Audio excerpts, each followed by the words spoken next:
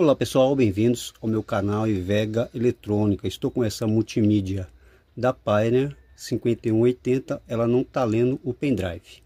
Aqui a multimídia já está aberta, tira alguns parafusos aqui na parte de trás, algumas peças, dobra a placa aqui na frente para fazer a manutenção.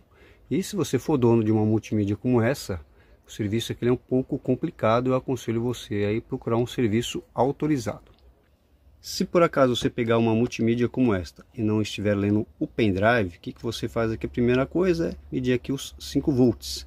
No caso dessa aqui eu fui medir e não tinha os 5 volts, então o pendrive estava sem alimentação. Segui aqui a trilha de alimentação do pendrive, tem um CI aqui na parte de cima.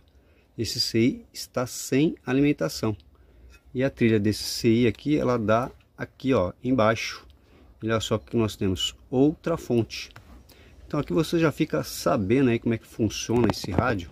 Se por acaso você pegar um rádio como esse também aí, sem estar tá lendo o pendrive, de repente pode ser o mesmo problema. Então aqui nós temos USB, ó, fonte do USB do pendrive e aqui um capacitor estourado. Estourou legal aqui que chegou a estourar ele entrou em curto, estourou a trilha aqui, ó, e perdeu a alimentação. Aqui entra os 12 volts, entra nesse CI, faz a fonte e aqui chegou a estourar a trilha. Os 12 volts aqui, ó, ele vem direto aqui, ó, da bobina, vem por esta trilha, passa por esse diodo. O diodo aqui ele não chegou a queimar, né? Com o capacitor em curto, já testei o diodo, ele tá bom. Então aqui só foi a trilha mesmo que acabou estourando aí com o curto aí desse capacitor, né pessoal? O famoso capacitor em curto.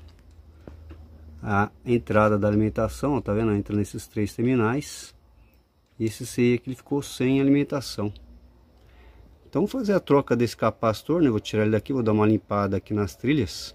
Deve ser um capacitor de baixo valor, que aqui na parte de cima esses dois pontos já tem um capacitor ali, pessoal. Esse capacitorzinho ele já tá ligado aí, fazendo essa filtragem aqui desses 12 volts. Então aqui eu vou colocar um capacitor aí de 100 NF, 200 NF, mais ou menos, aí para dar uma filtrada extra aqui nessa alimentação. Então vamos lá tirar aqui o capacitor, vou dar uma limpada primeiro. Vou mostrar para vocês, depois eu vou colocar aí outro capacitor. Agora aqui já sem o capacitor, deu para ver bem o que aconteceu, a trilha lá chegou a romper aqui, ó, estourou legal, hein? Então ficou sem aqui a alimentação do circuito integrado. Então vamos colocar aqui um outro capacitor, né pessoal? E essa ligação aqui eu vou deixar um fiozinho fininho aí, né? Caso aconteça novamente, o fio fino ele sirva aí como um fusível. Tá aí o capacitor no lugar, ligação aqui refeita através aqui de um fio fino. Caso ocorra algum problema, o fio aqui é mais fácil se romper. Agora vamos terminar de montar o rádio, né pessoal? Vamos torcer aí para funcionar essa fonte. Multimídia ligada. Coloquei ali um conector, estou fazendo aqui a leitura. Tá aí os 5 volts eu não tinha esses 5 volts, por isso que o pendrive ele não funcionava. Então aqui por sorte só foi aqui o nosso capacitor que estourou, interrompeu a trilha e deixou de alimentar aqui a fonte do USB. Tá aí, o problema agora está resolvido. Agora com o rádio já fechado, vamos testar aqui o nosso USB. Ele não aparecia aqui ó, nessa lista. USB tá aí, tá fazendo a leitura, já tá tocando aqui, ó, já está funcionando.